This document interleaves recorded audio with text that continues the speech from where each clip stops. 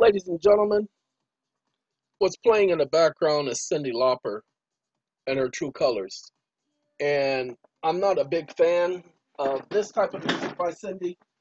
I, I you know, girls just want to have fun and all that. I, I, I kind of like that stuff, but not a big fan of this stuff right here because it has a little techno to it, and I'm not a techno person.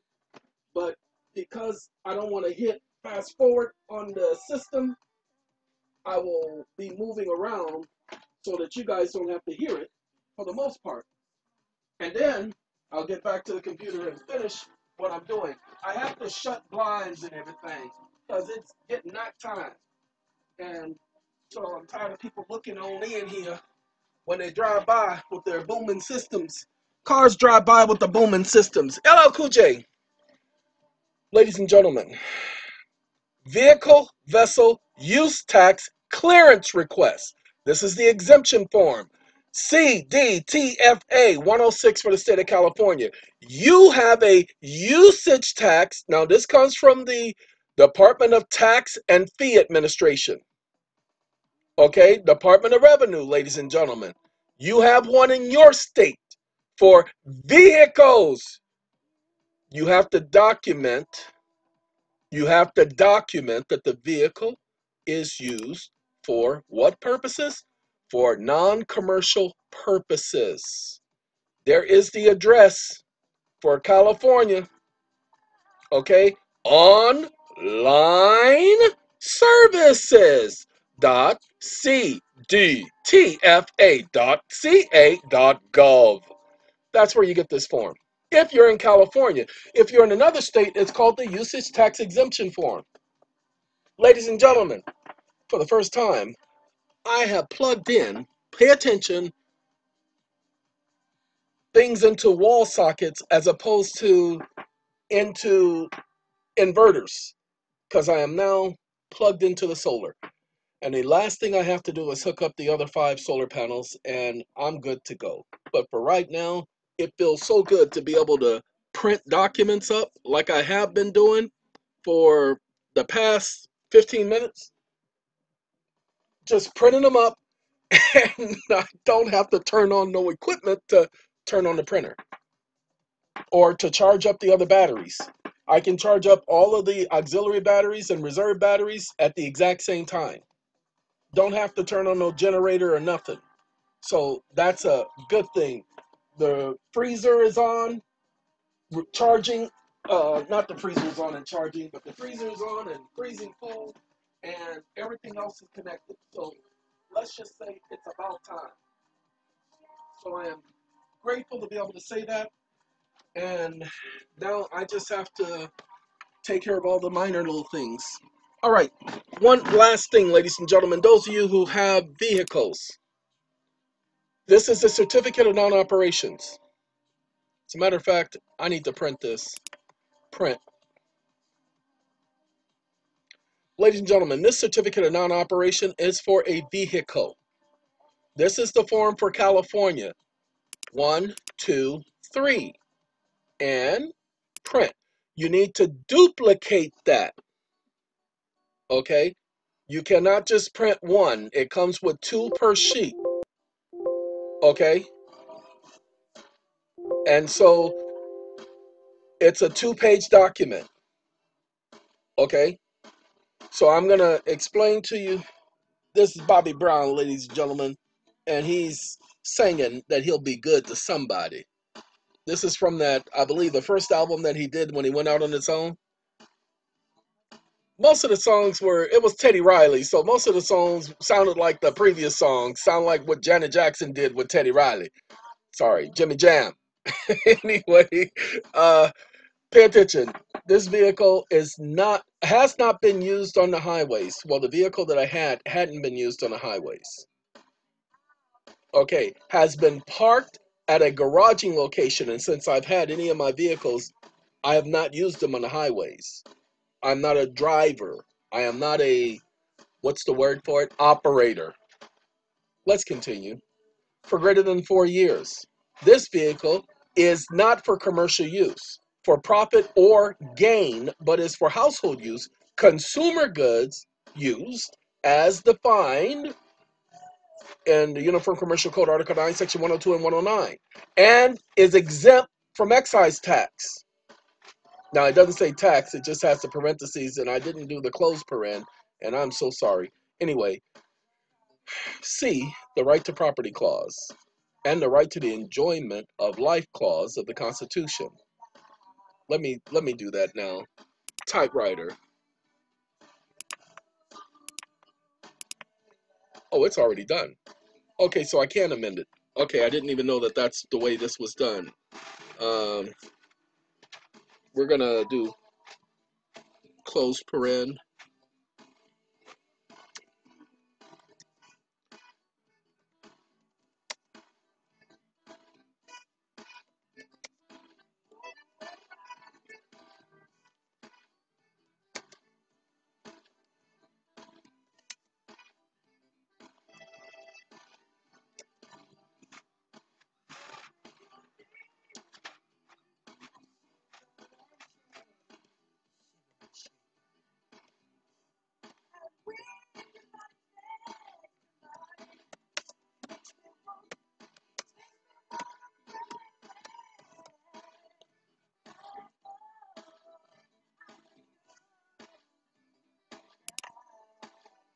Sorry.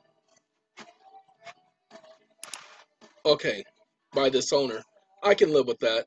And then what I do is I click off, then I click back, go to this little center, and bring it on up. Matter of fact, we'll do it that way. Looks better, don't it? All right.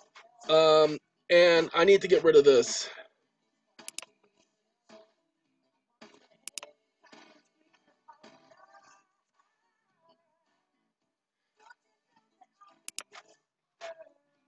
Let's get rid of that use. Okay, so, but it's for household consumer goods use, comma, as defined by the Uniform Commercial Code Article 9 and is exempt from excise. And we don't have to put tax, we just put simply excise. Is exempt from excise. Okay. And then we put our colon the right to property clause and the right to the enjoyment of life clause of the Constitution and will remain such until such time as determined by this owner. Okay, and then we, because I'm gonna have to print this again. I just printed it, and so I'm gonna have to print it again. And then we take that and we capitalize it. Now what I have to do is I have to get rid of this. Oh no, I don't. Oh no, because I do have to get rid of it. I don't know how I did it. I think I may have done a text box. Okay. No, let's get rid of the text box. Do go back to edit. And we're going to go, this is Michael Jackson. And I think he's talking about healing somebody's world. What are you doing, Michael? You talking about healing the world? Well, you can do it from 12 feet underground. Oh, that's right. I gotta do this. So we're gonna have delete, delete, and we're gonna do delete, and we're gonna do delete. Now, each one of you in your state, no, as a matter of fact, I'm gonna do this right the first time so I don't have to do it again. Let's make sure Dag nabbit. Okay, I got to figure out which one was used. Nope, can't do that one. Do this one. Uh-oh. Let's do that to get rid of that. And we'll do typewriter. Nope, can't do the typewriter. Uh-oh. I don't know how this happened. Oh well. Let's do select text. Nope, won't let me do that either. Oh well, won't be using that one. And make it a better place, y'all. Cut. Yeah. Okay, there we go. Cut. Uh-oh, that didn't work. Oh yeah, can't do that. That's too much. You see, it took the whole thing away. So can't do that. Undo that. Huh. Yeah, it's because of the fact that way it's done. And so I can't do anything because I can't reshape this or nothing. All right. But ladies and gentlemen, you have this usage tax exempt form in your state. The only thing you have to do is fill it out. Okay? And I'm going to take care of that bottom line. Um, oh, that's why that's why I put this because they have under the penalty of perjury. Okay? So I'm going to do wholly accurate. Normally I would get rid of all of this, but I'm not going to do that. I'm going to do my wholly accurate. Holy Toledo, Batman! Okay, so we're going to do the wholly accurate. Nope, can't do that. Undo. Undo. Okay, now we have to do redo. Make sure everything is the way it's supposed to be. And now I copy this. That's because I'm not doing it for the first time. When you get the form, if you put it in PDF-XChange, you won't be able to do, well, you will be able to do it because that's how I did it. I just did the original form in PDF-XChange, paste, and I already had this typed up, or I typed it up in one document and then moved it to all the other documents by copying it and doing exactly what I'm doing now. Okay? And I'm listening to Michael, and he was talking about Isaiah and Michael Micah, where they talked about uh, turning their shears into plowshares and learning war no more. He added a lot of information from scripture in many of his songs, and most people caught it because even when they were younger, they added words like salvation and all of that to songs, and a lot of people caught it. As a matter of fact, you know what, ladies and gentlemen? I know what I'm going to do. Okay. What we're going to do is we're going to bring it to number 11. And because I brought it to number 11, now I can go and I can reshape this to where it fits in the square a lot easier. And we're going to bring it up one more again right there is fine. And so, and the reason why we're going through this, so just in case some people, because a lot of you must understand, a lot of people are not tech savvy. They don't know how to do things like this. So that's why I keep the video on for some of the videos so that they can see how I'm doing it as opposed to not just seeing that I'm doing it. And I can add the VIN and all of that stuff later. Okay, you see how I lined it up so where you can easily read it and the lines don't get in the way?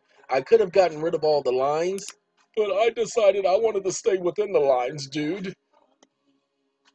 You and for me, you and for me.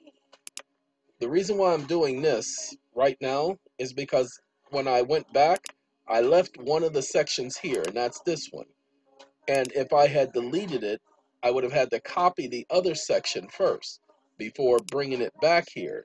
So now I don't have to do it because I've already done it. And I just have to drag and drop. I think we're going to bring you up here. All right, there you go. They're all there. Now, here's the last thing. I have to get a text box. And I have to hit the space bar once. I hit the spacebar once in order to get this thing to stay. And now that I have it this way, I'm going to do this. And those of you who have PDF-XChange, just go back and watch. What I'm going to do now is you see this red line thing right here? I'm going to click that and I'm going to hit this white box. No more lines. Then I'm going to click off of it. And now no, I can't have that. So what I'm going to do is I'm going to click edit form. Oh, no, did I do it already? I have to click copy. Sorry, give me one second. I didn't know if I copied it already, so this will take care of that, and I don't think I did. So now I take what I just copied and I paste it there, and then I just move it here. And I don't want to do the whole thing, the whole line, because I'll get rid of the lines and then it'll look ugly. So now I just do it that way, and now you don't even notice that what was there at first. Okay? And I do that with the whole document. Okay, the issue is I've shown you guys the videos. You can go and look it up. I think my phone might be ringing. Oh no, that's that uh, Google stupid uh, assistant thing. Ladies and gentlemen, all of you who live in states who have the exemption, now you know that there is an exemption form for taxes, for your property, for your vessels, but there's also one for your home. Yes, they make you go through this because they want to put you through the hoops because they're not just going to waive your taxes when they can document the bringing in of income revenue for the state because they need that revenue. That's how they pay for their Christmas parties. Look, ladies and gentlemen, why do you think the Pentagon can lose trillions of dollars and then nobody worries about it? Because they got you guys to pay for it. They always keep talking about how it's a burden on the taxpayer because you guys will pay for it. They know you will. And so they can count on you like clockwork because you will pay for their mistakes. So I choose, I am one of Jehovah's Witnesses, and I must, I must, I must obey Caesar's laws. And so I will follow the law. Now, here's what the law allows me to do. The law, the law allows me to sit up here and document that I'm tax exempt when it comes to stuff like this because the law says that my private property that is used for private use, not commercial use, is mine to do with as I choose. Well, I choose not to pay taxes on something I don't have to pay taxes on. I choose not to throw money away because I can't afford to be throwing money away. Now, I know some of you guys are rich. Y'all can just throw stuff away because y'all don't care. Y'all don't recycle. Well, I, I D-cycle, M-cycle, and me-cycle. Okay? I don't tricycle. Okay, just don't work that way. So what I'm trying to get you guys really to understand is you guys are going to have to sit up here and start taking care of yourselves. I can't do it for you. I can only point out the fact that the documents exist. Okay, there are going to be people out there who are going to start businesses. Now, look, this is, I do need to explain this, and I'm so glad I just brought this up. Ladies and gentlemen, there are going to be people out there who are going to start businesses. And I am not going to be angry that they saw my video and they decided to start a business helping people do this stuff. What I say is if you're going to get information from me, and I'm the only one talking about this stuff, go ahead and look. Go ahead and look. You don't hear anybody else talking about the exemption forms except for Gene Elkins. He talked about this stuff years ago. Okay? But I've already known about it. And so I am uh, on Gene. That's Gene, a lot of respect for that young man. Okay? Gene Elkins has been telling people about this stuff for years. Okay, it's just that not everybody chooses to listen. So what I do is right now, I hit print because my document is complete for me. Okay, and when it hits print, I got to print three of these. And when I print three, because there are three different vehicles or three different vessels, doesn't matter how you say it, people. They can have their legalese. Go ahead and keep your legalese, but that's not my definition of vehicle. Well, that's the uh, Congress's definition. I don't give a what Congress defini- define. Congress doesn't sit up there and uh, create words for me. Those are Congress's words. I'm not using Congress's words. I'm using my words. My words, in my opinion, have more power than Congress's words. Doesn't matter if you take what I say and you try to twist it and spin it however you want. Go right ahead and do that. As Luther is telling you guys in the background, never too much. So I say what I say because that's the way I mean it. I don't mean it any other way. These are my words. This is what I am doing. Wait, as a matter of fact, it ain't printing. What's going on with you? Oh, okay, now it's printing. I'll take all that time. I don't know what you're sitting up here messing my day up for. Go ahead and hurry and print. All right, ladies and gentlemen, gentlemen and ladies, I just wanted to share this information with you. I hope it was beneficial. I know the last part was just me doing it, but I promise you there are some people out there. Remember, you want to finish the document with saying the aforementioned is wholly accurate to the best of my knowledge. You want to put there, see, a penalty is due if filed after the vehicle registration expiration date. So if you wait till after the expiration date, you owe a penalty. Well, ladies and gentlemen, don't file this after the registration date. File it now. Okay? And as I said, you don't need a driver's license to drive an automobile. You do need an ID. The Supreme Court says if you're out in public, then you're required to have identification. Sorry, they have said that in several cases. We've already gone over that with you. So that's why I was carrying around the identification I created or carrying around the uh, world passport. But I don't need any of that anymore. I'm going to use the regular ID like I have been, and I'm going to continue that way. Just that simple. All right, ladies and gentlemen, gentlemen, ladies, ladies and gents, I'm going to move on with the information, finish what I need to finish, and get ready to go lay down because it's been a long day. Want to thank all of you for taking the time. Hey, Luther, can you take us on out of here? Ladies and gentlemen, he, he wants to sit up here and have a screaming and hollering heart. Love is a gamble, ladies and gentlemen, that he's winning. Then we've come a long way, and this is only beginning. Oh, my love! Gotta go. Take care of yourselves, everybody. Gotta go, gotta go, gotta go. Oh,